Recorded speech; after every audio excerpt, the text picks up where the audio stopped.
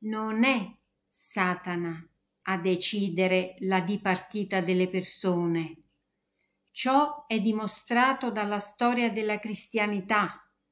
Il riferimento è ai vari santi e sante che, sottoposti a supplizi inenarrabili, ne sono usciti indenni per poi morire solo e soltanto quando Dio lo ha permesso.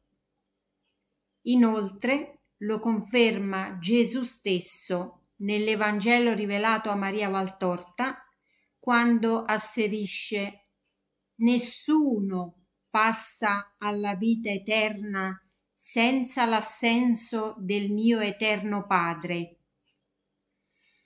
Un capitolo a parte è rappresentato dagli spericolati, ossia dalle persone che mettono a rischio la loro vita per motivi futili.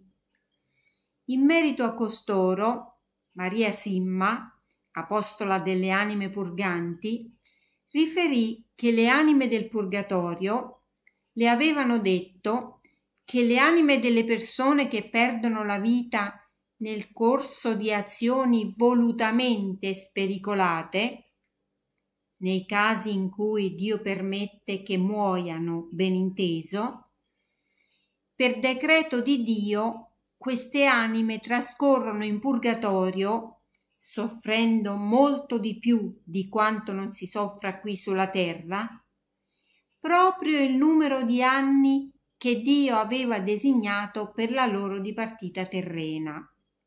Maria Simma fece anche un esempio dicendo che un giovane spericolato morto ad esempio in moto a vent'anni per il quale Dio aveva stabilito una vita terrena di ottant'anni, per decreto di Dio egli trascorrerà soffrendo in purgatorio i sessant'anni che avrebbe dovuto vivere sulla terra.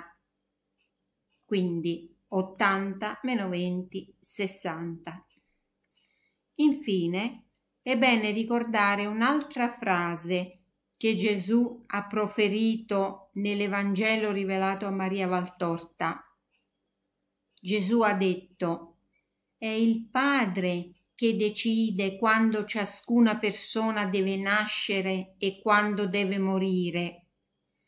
Naturalmente Dio è libero di fare tutte le eccezioni che ritiene, ma questa è una frase di Gesù e quindi corrisponde a verità.